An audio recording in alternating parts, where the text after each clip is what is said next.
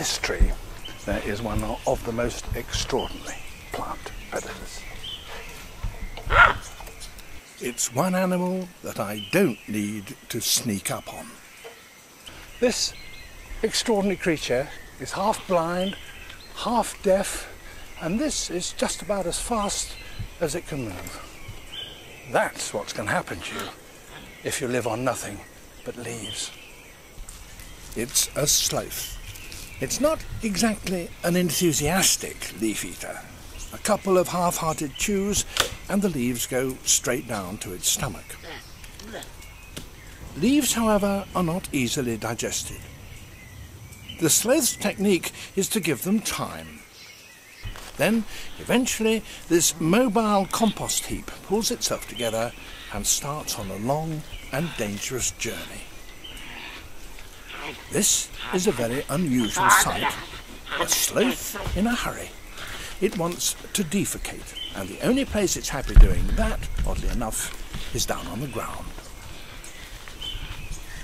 It only does it about once a week. But why does it come down to the ground to do it? Whatever the reason, it must be very important, for a sloth on the ground is almost helpless. Any predator could attack it, and it doesn't have the speed to escape.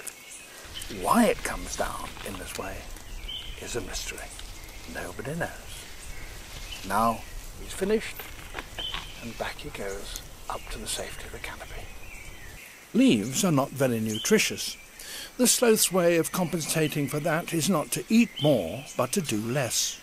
Its claws hook over the branches so that the sloth can hang without any effort of its muscles, which have been reduced to thin ribbons. And to save energy, it spends most of its time hanging around half asleep in the treetops. So I think I think we were very much on trial, as it were. The first day we went out was certainly were. Mm. Yeah. I remember being told, "Don't look them in the face, don't stare them in the eyes, and mm. don't stand up and crawl through the vegetation and grunt."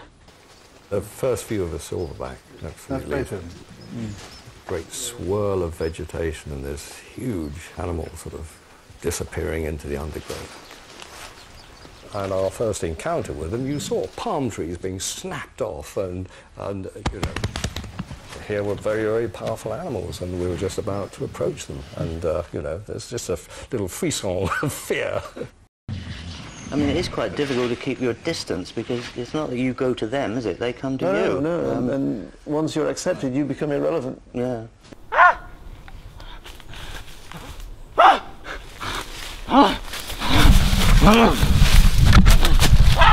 Oh my god.